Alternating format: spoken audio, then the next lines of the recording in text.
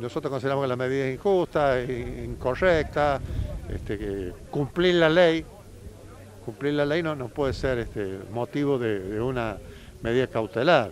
Este, además, las medidas cautelares en el proceso penal, eh, porque esto nos acusan de un delito, o presuntamente de un delito.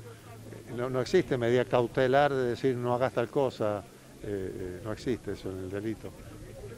Bueno, de todas maneras, a, esta gente que, mantenga toda la esperanza que no bien, bueno, pasen la elección a, a las 48 horas eh, estamos trabajando y seguramente en ese, en ese tiempo, 48 o 72 horas, estamos pagando. Esto es para la reconstrucción de San Luis.